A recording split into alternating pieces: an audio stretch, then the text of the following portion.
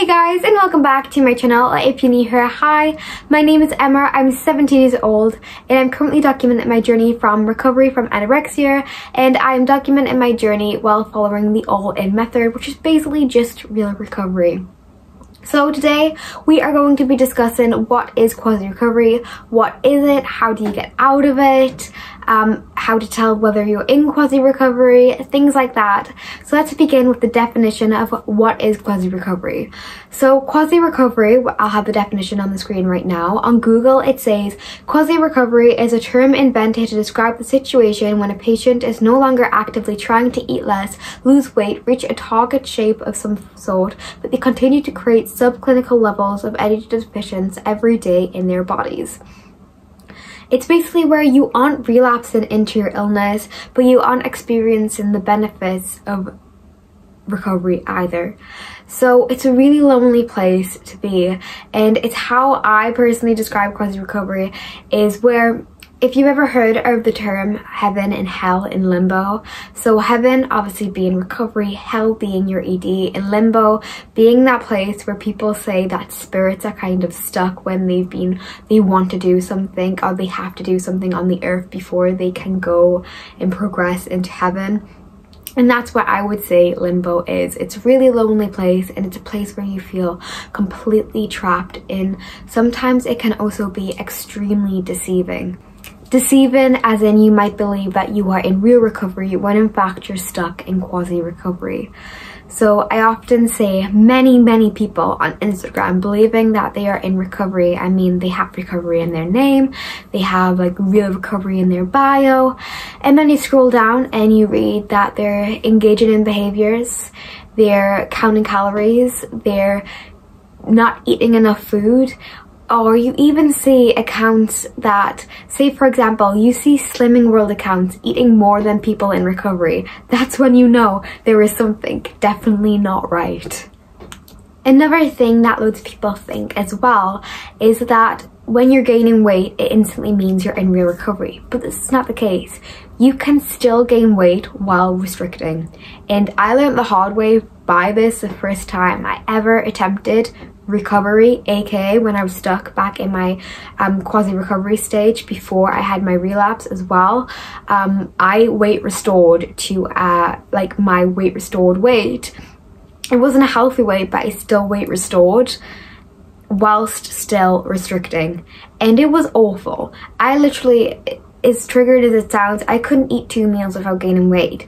But that was because I was still holding on to all my restriction behaviors.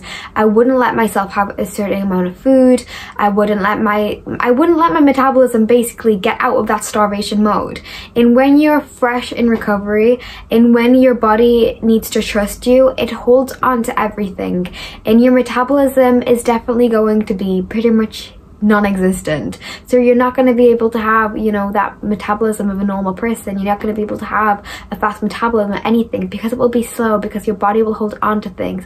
And I hated that. I didn't like that. Each time I ate a little bit more food I go back and I restrict. And it'll be this constant cycle but I continue to still gain weight. So just because you're gaining weight it doesn't mean that you're in real recovery. Recovery is for everyone, whether you're underweight, whether you're healthy weight or whether you're overweight even, full recovery is for everyone. And if you are engaging in any eating disorder behaviors, no matter what your weight is, you are still stuck in quasi recovery.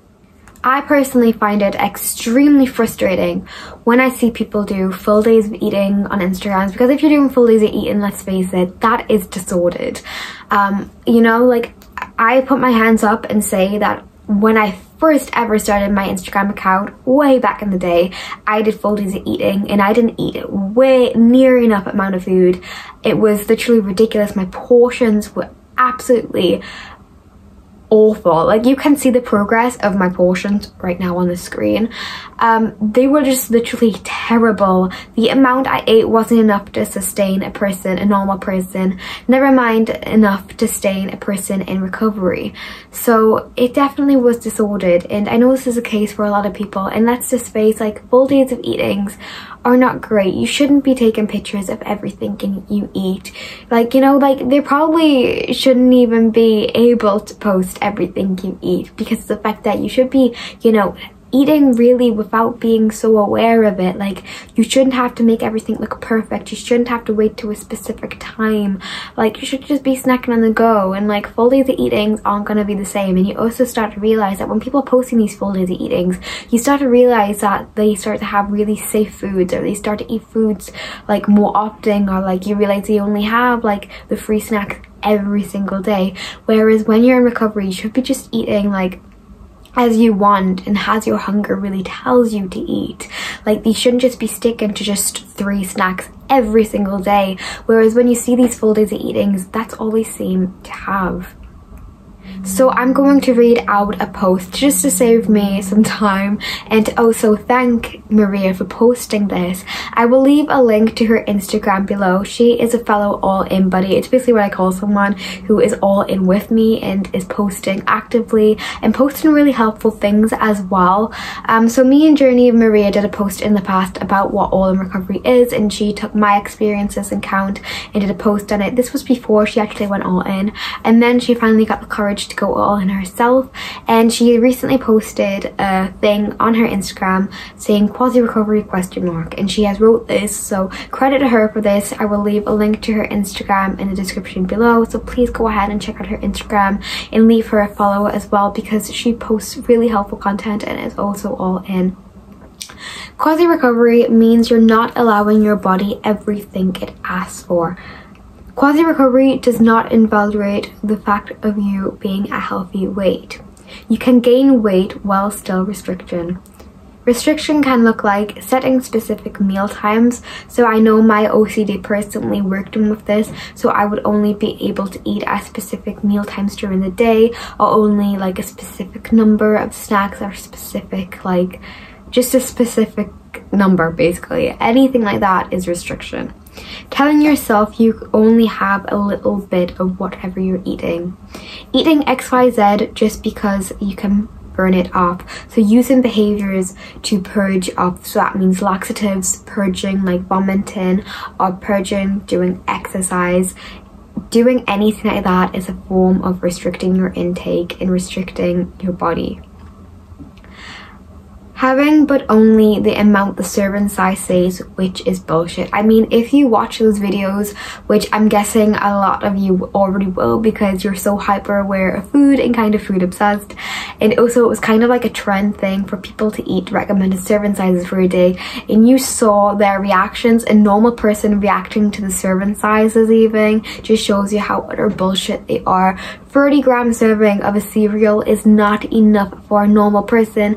Never mind someone who is in recovery. How can a serving size be the same same for like a toddler to like a five six foot adult man like they literally are bullshit okay? So don't believe everything you read on a box. And plus can i also add that sometimes the nutritional values on boxes and the serving sizes aren't always accurate. They're like I've read this thing like really like what like they're like 70% off or something like that so don't always trust what you read on the box.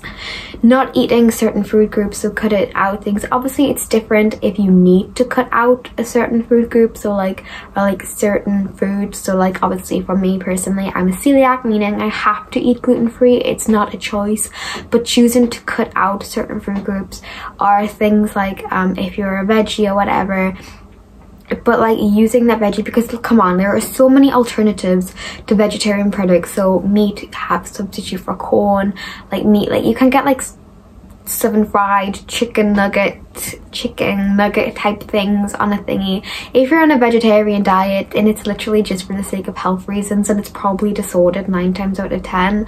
And like if you're like oh, but I'm not allowed to eat this or that and stuff. There are so many alternatives to meat nowadays.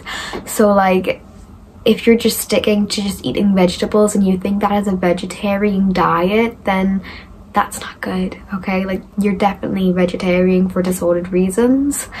Um, also another thing is that like for example everyone thinks that because you're vegetarian you have to be healthy. My sister is vegetarian and i think she eats veg once a week and her diet consists of like chocolate and like Quorn some fried chicken bites and potatoes. And she is perfectly healthy and happy and that just goes to show you that you know being a vegetarian does not mean that you need to sit and eat a salad every single day only eating healthy food. So like healthy is in you see some on the TV and it's like kale crisps or whatever and you're like, oh, so now I'm only gonna eat kale crisps or only gonna eat brown rice instead of white rice or something like that. Doing out like that is not good. Same with things like eating only diet products or like you know say for example if you ever see them stupid skinny syrup things like uh, I hold my head up high and say I've used them in the past when I was in quasi recovery and I justified using friggin syrups in the past in saying that it was for non-disorder reasons and I can hereby admit that it was for friggin' disordered reasons.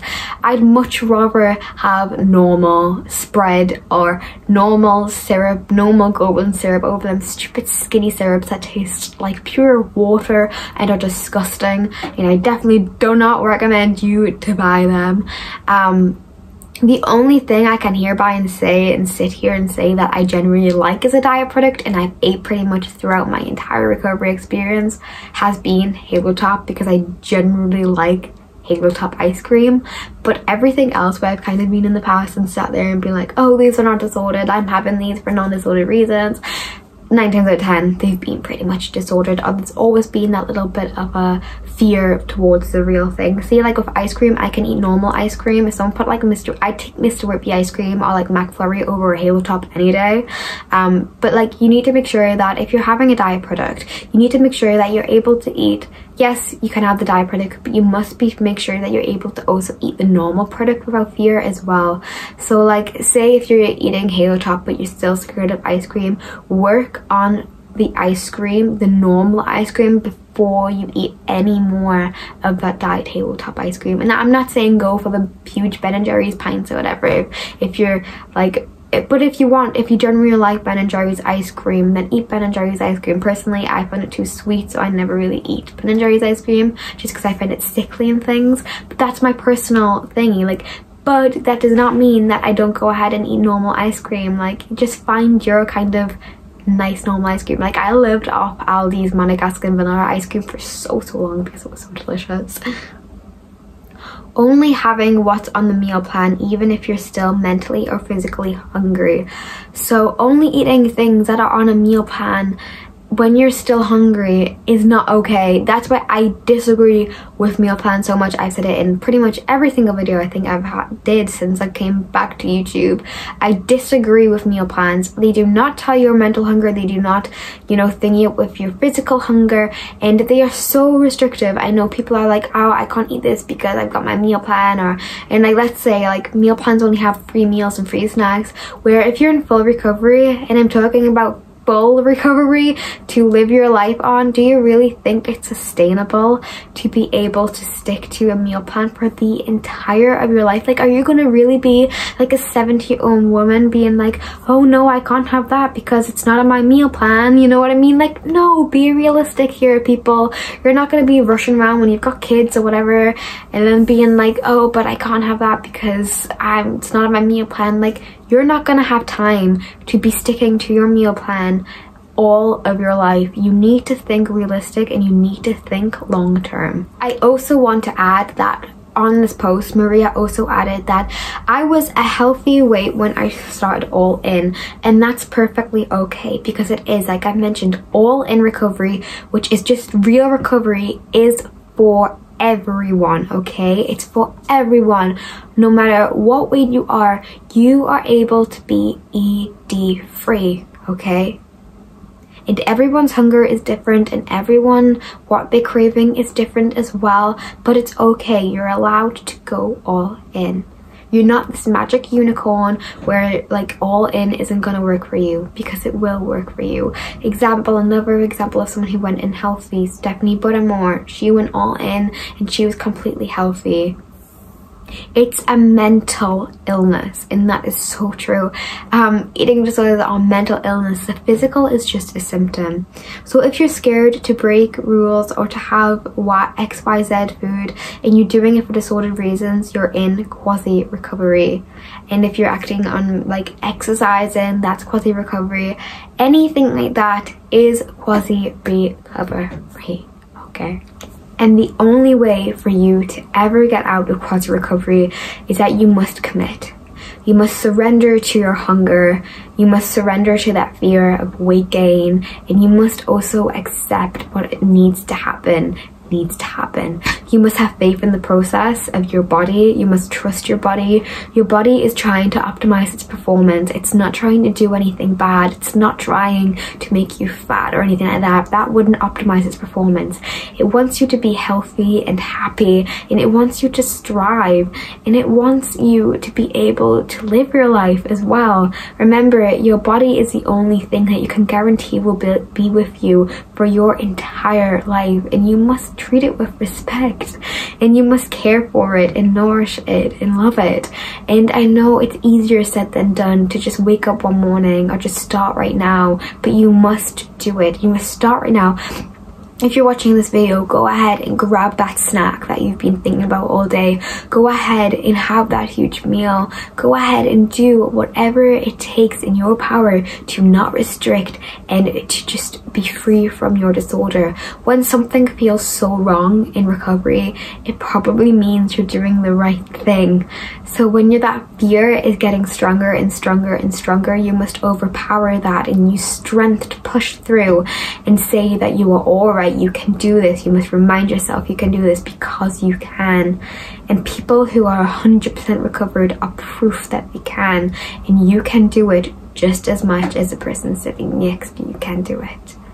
So please, if you're thinking that you are stuck in quasi recovery and this video has kind of, you know, made you have that realization, that light bulb moment that we all have, then please do absolutely whatever you can in your power to get out of quasi recovery because you truly can do that. And start right now. Don't wait till, you know, next week. Don't wait till Monday. Don't wait till tomorrow. Start right now. It doesn't matter what weight you are. Everyone deserves to be fully recovered from their illness. So please go all in. Thank you guys so much for watching this video and goodbye.